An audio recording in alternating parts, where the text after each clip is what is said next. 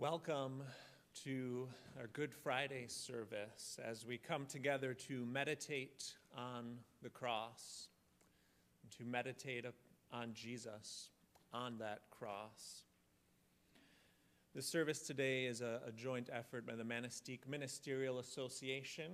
It's a partnership of the local churches, and we do various ecumenical services together throughout the year as well as provide emergency aid within the community and with the transient population, especially in the summertime. Um, if you feel a desire to contribute financially to the work of the Manistique Ministerial Association, you can do so. There's an offering plate by the door there, and you are, are welcome to contribute in that way. Uh, and I also want to give just one note. So, Good Friday is a, somber time. It's a solemn service. So I will ask as we leave at the conclusion if you can leave the space we're in quietly. You know, we can meet elsewhere to, to talk and, and gather as desired, but to respect the solemnity of the time that we are sharing together. If you'll take your order of service and we'll follow along, the hymns that we will be singing are all in the hymnals. So you'll find the words there. Join me now in a reading on the cross shaped love. Come, let us gather again in the shadow of the cross of Christ. We gather to remember the overwhelming evidence of love's ultimate sacrifice. Who would have guessed that the height and depth, the length and width of God's love might look like this? A forsaken Savior on a cross. Certainly not us. Not us most among the world's distractions and responsibilities. Not us for whom such love was offered without cost. Let us gather again in the shadow of the cross of Christ and commit ourselves to remember the price paid let us live our lives in a way that indicates why this Friday is called good. Thanks be to God who opened the gates of heaven that we might have the faith, hope, and love witnessed in Christ's sacrifice for our salvation. Father God, we pray that you would guide our hearts now to the cross, to embrace the despair that we find there and in the despair to find the deepest hope and love ever displayed in this universe. Guide us to your Son, Jesus, in whose name we pray. Amen.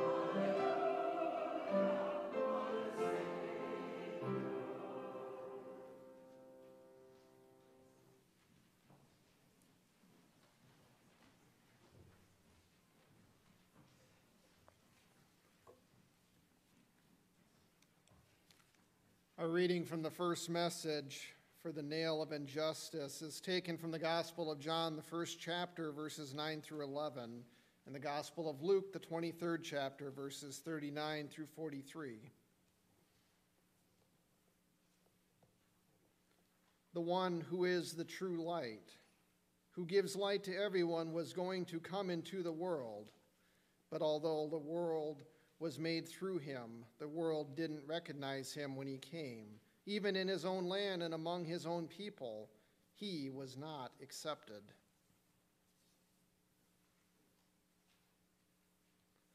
One of the criminals hanging beside him scoffed, So you're the Messiah, are you?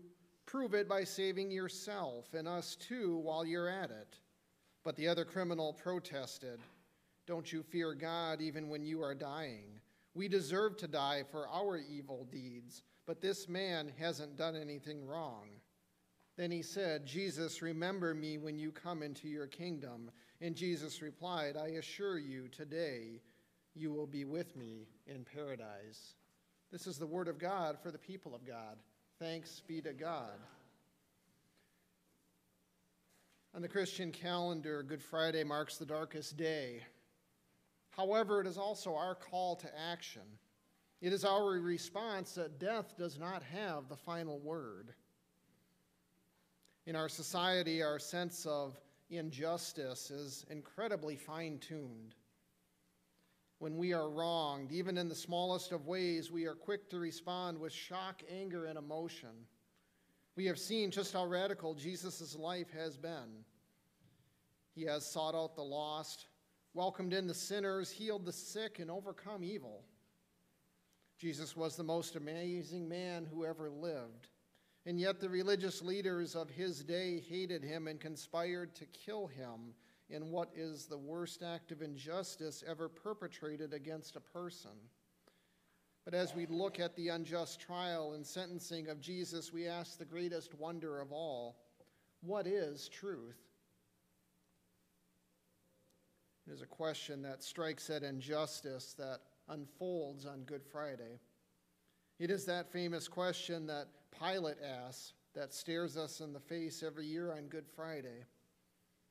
The fact that it seemingly is left unanswered remains a challenge to us. Jesus doesn't seem very interested in verbally defining truth. He says that he is the way, the truth, and the life. And Jesus says that he came into the world to testify to the truth, and that those who belong to the truth listen to him. But he never gives a philosophical definition of the truth. Jesus seems less interested in defining the truth and much more interested in instead showing us the truth. He's interested in having us see the truth as a living thing and to see ourselves as belonging to it, as being a part of it. But being human means we have multiple truth claims weighing on us the truth of the world, the way it is, and the truth of God's realm, the way God dreams the world to be, the way we believe it can be. Those multiple claims are at the root of Pilate's question. What is truth? Or maybe which truth do you mean? But Jesus doesn't respond in words to Pilate's question. Instead, he reveals the answer with his life, death, and resurrection. The Passion reveals a deep truth about the way the world is. Not the world that God created and pronounced good, but the world that we have created. The world we have made out of fear, out of shame, out of bitterness out of our desperate need to hide our own tender wounds. In our desperation and fear, we try to make it somebody else's fault. We cast blame and we cry out for the blood of someone else, an innocent, over and over and over. Passion reveals the worst in us. It reveals the truth of the hideous things we're capable of when, we're when we are afraid, when we're ashamed. Of course, it reveals an even, deep, an even deeper truth about who God is and how God responds to our, and fear, our shame and fear. The truth that Jesus shows with his life and ministry is a profound challenge to the world we have made. The truth that Jesus shows us is that no matter how benign and beneficial we might think our human systems and structures are, they all fall. We all fall. Our world is infected with injustice. Jesus demonstrated with his life, with his teachings, and with his death the truth about this infectious injustice and the human cost that is always required for maintaining unjust structures of power. All through his life and his death, he shows us God's loud no to the dominant systems of this world and God's louder yes to the way of God's hope, God's peace, and God's justice. These are truths that we can see with the help of the cross. If we have eyes to see and ears to hear, Pilate has a chance to see these truths as well. He is the local representative of the dominant system at that time. And in this conversation with Jesus, he has a chance to hear and see and be transformed. But Pilate can only see the world in terms of earthly kings, so he turns away from the revelation, the revelation of the truth standing before him.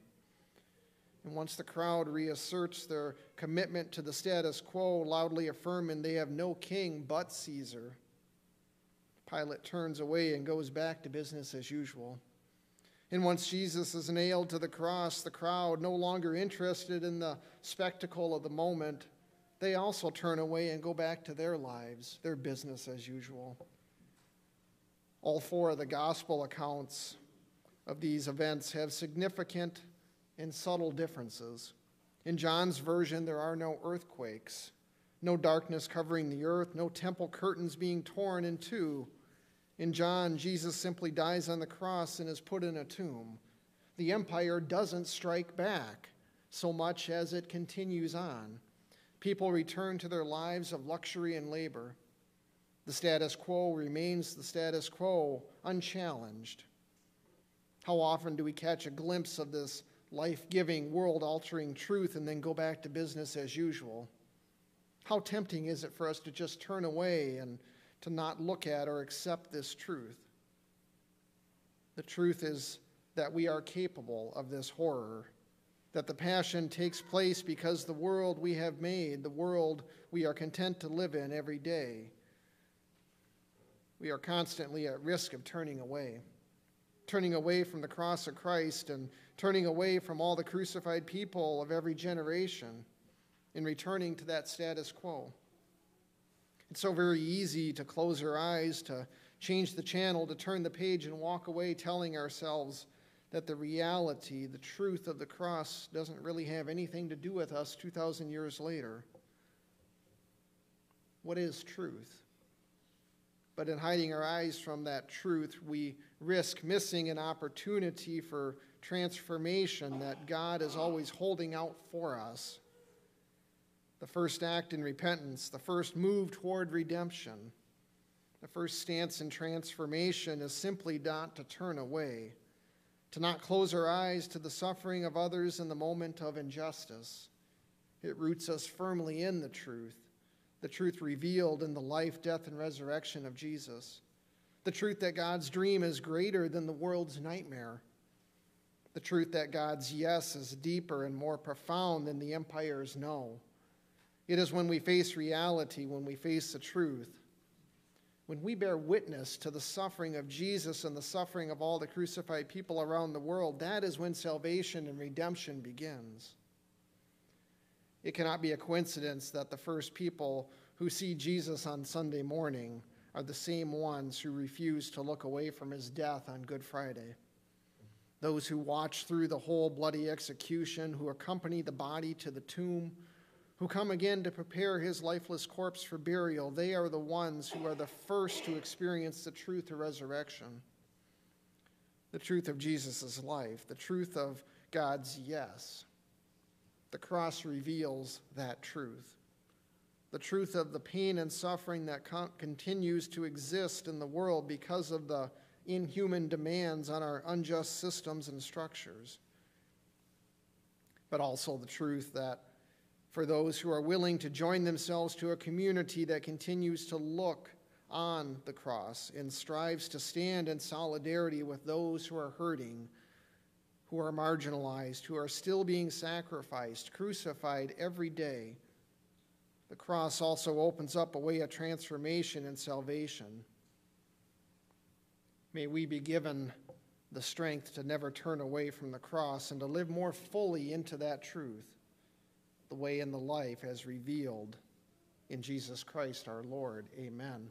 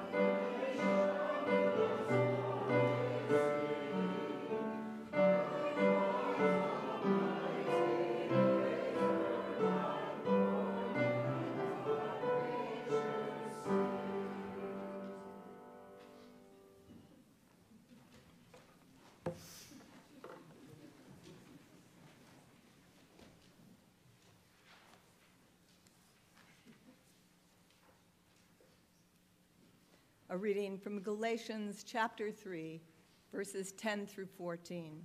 Listen now to the word of our Lord. For all who rely on the works of the law are under a curse. For it is written, Cursed is everyone who does not observe and obey all the things written in the book of law. Now it is evident that no one is justified before God by the law, for the one who is righteous will live by faith. But the law does not rest on faith. On the contrary, whoever does the works of the law will live by them. Christ redeemed us from the curse of the law by becoming a curse for us. For it is written, Cursed is everyone who hangs on a tree, in order that in Christ Jesus the blessing of Abraham might come to the Gentiles, so that we might receive the promise of the Spirit through faith. And in the Gospel of Matthew, we read from chapter 27, verse 45 From noon on, darkness came over the whole land until three in the afternoon. This is the word of the Lord.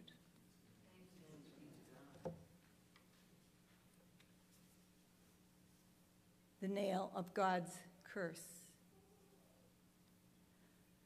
Amazing grace how sweet the sound that saved a wretch like me on that day when the sun refused to shine. The words in Paul's letter to the church at Galatia have been called the Magna Carta of Christian liberty and the Christian Declaration of Independence. Paul's salutation is harsh. You foolish Galatians, who has bewitched you? Even though they had witnessed Christ's crucifixion, they continued clinging to the law in hope, clinging to the law that required total adherence, the law that would destroy the freedom, unity, and mission to which God had called them in Christ. Christ has redeemed us from the curse of the law by becoming the curse for us. This afternoon, we remember the curse of that dark day. We stand in awe of his amazing grace, the extravagant cost, and incomparable love.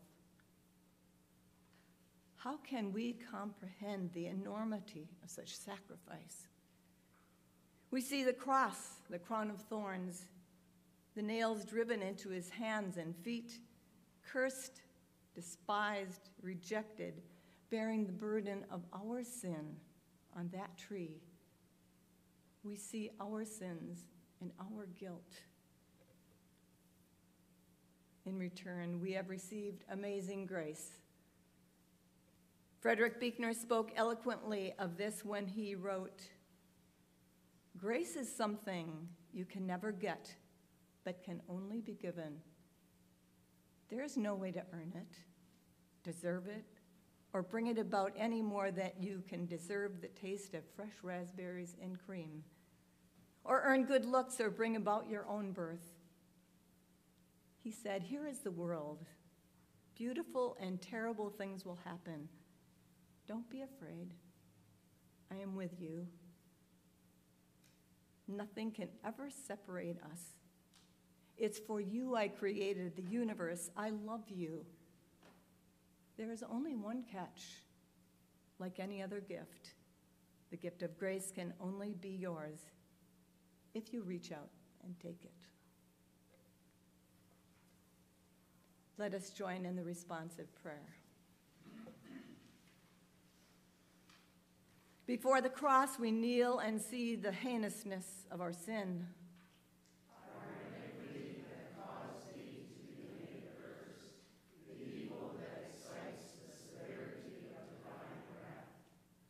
Show us the enormity of our guilt by the crown of thorns, the pierced hands and feet, the bruised body, the dying cries.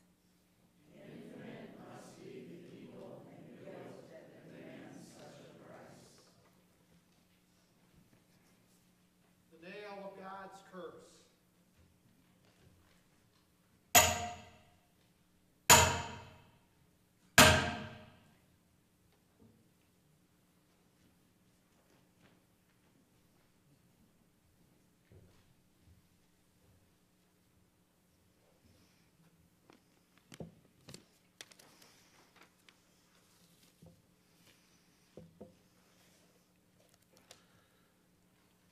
A reading from Isaiah chapter 53.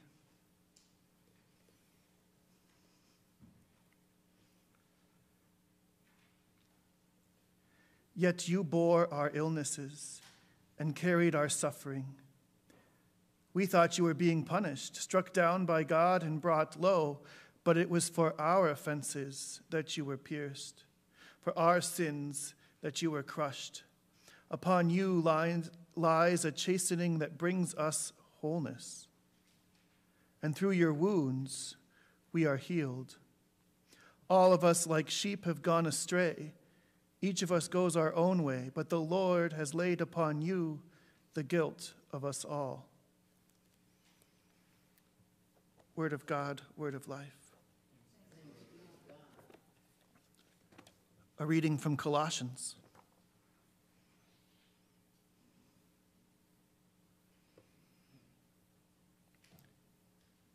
And though you were dead in sin and did not have the covenant, God gave you new life in company with Christ, pardoning all our sins.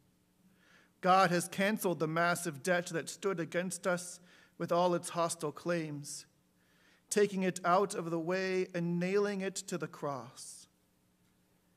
In this way, God disarmed the principalities and the powers and made public display of them after having triumphed over them at the cross.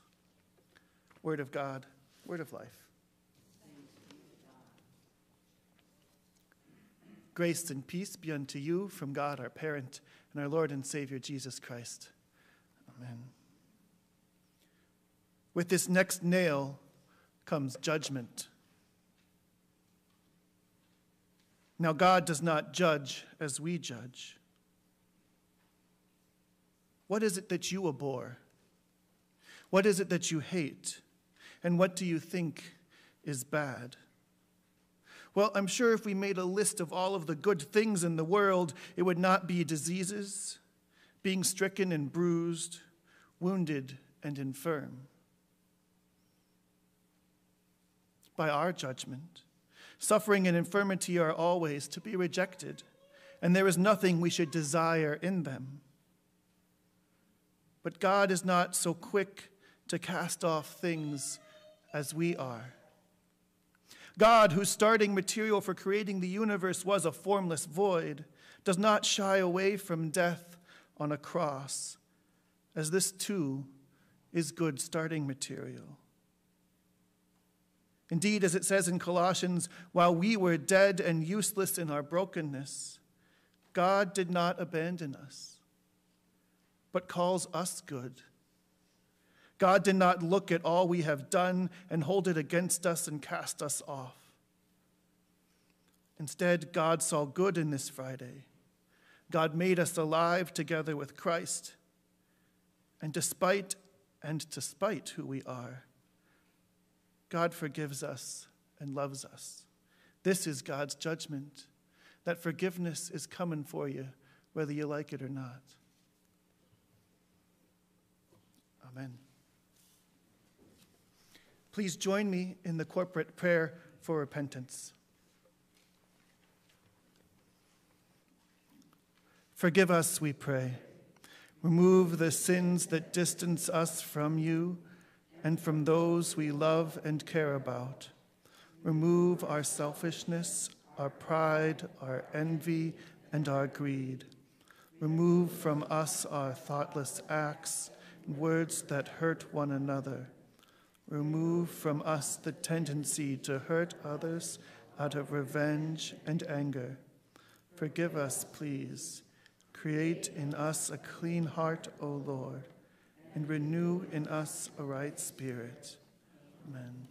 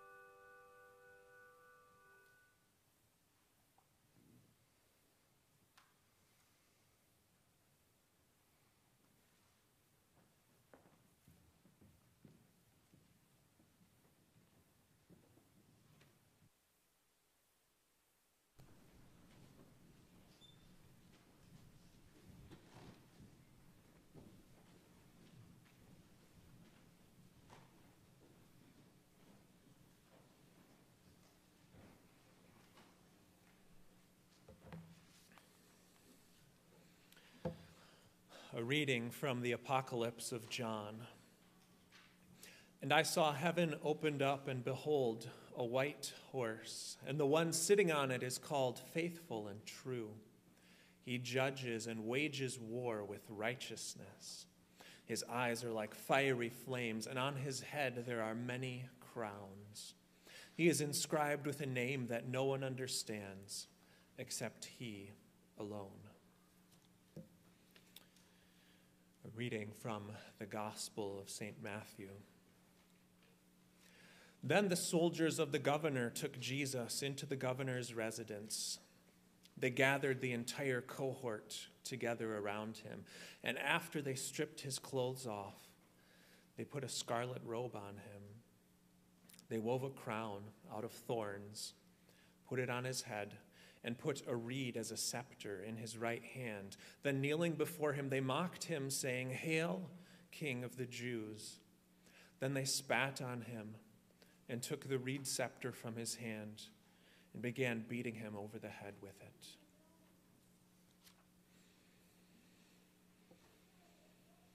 Kings wear crowns, and Jesus, a king, has a crown. Yet here on Good Friday, we are confronted with something grotesque. For the humiliation of the crown of thorns is double, or perhaps better said, it is infinite. In the apocalypse of John in Revelation, we get a pale glimpse, a sketch of Jesus as he is resplendent, powerful, mysterious, kingly. One crown doesn't suffice to communicate his majesty and power. Crowns are heaped upon his head.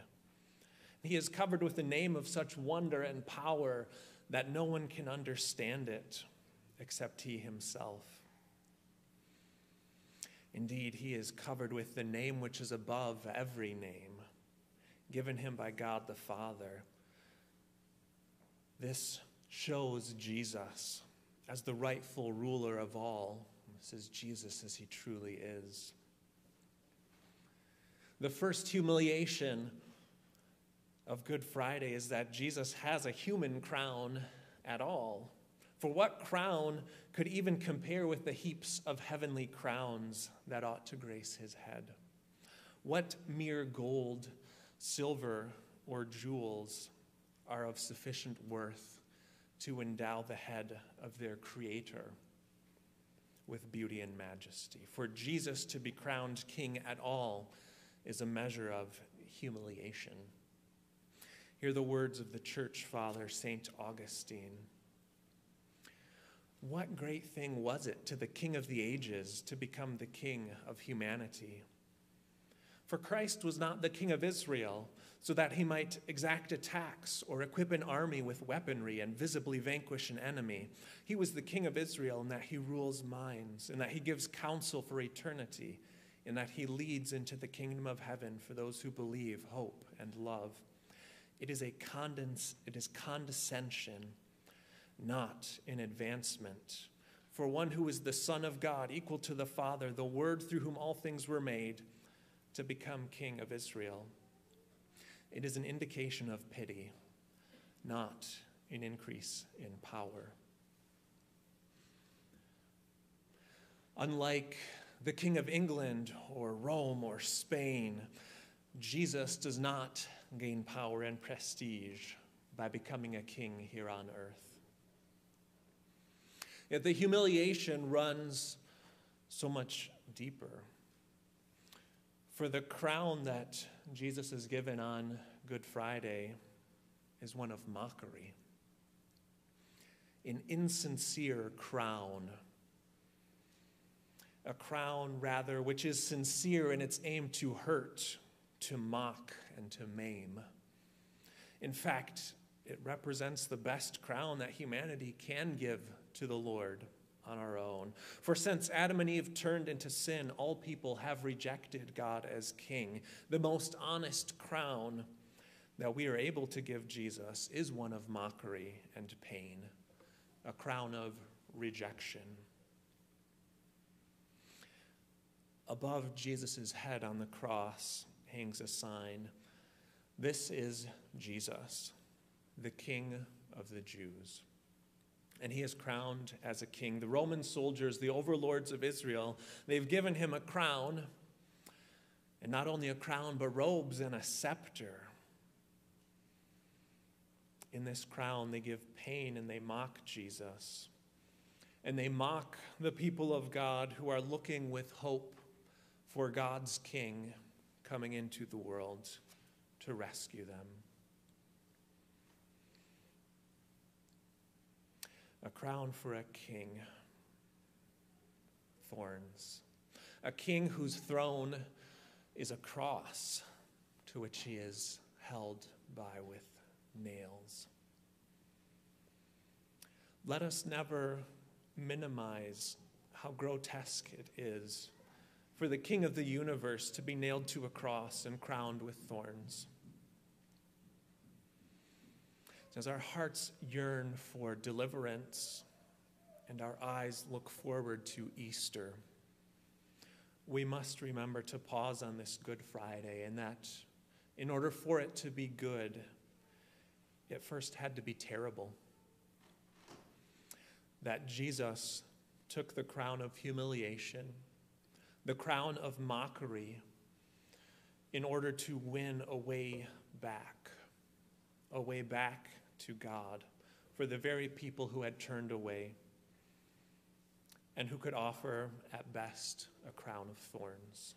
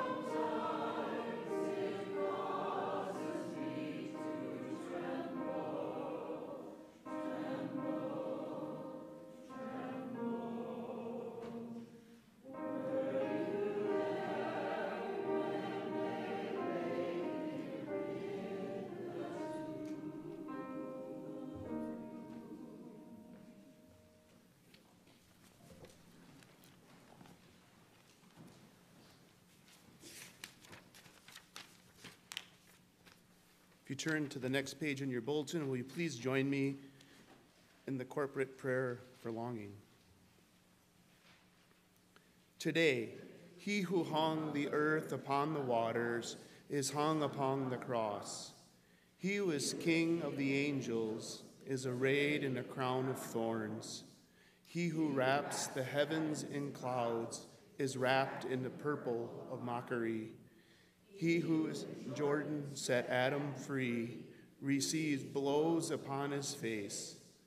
The bridegroom of the church is transfixed with nails, the son of a virgin pierced with a spear.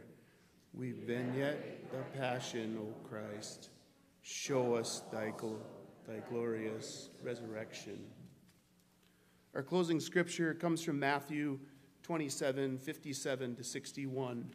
Here we have the account of the burial of Jesus.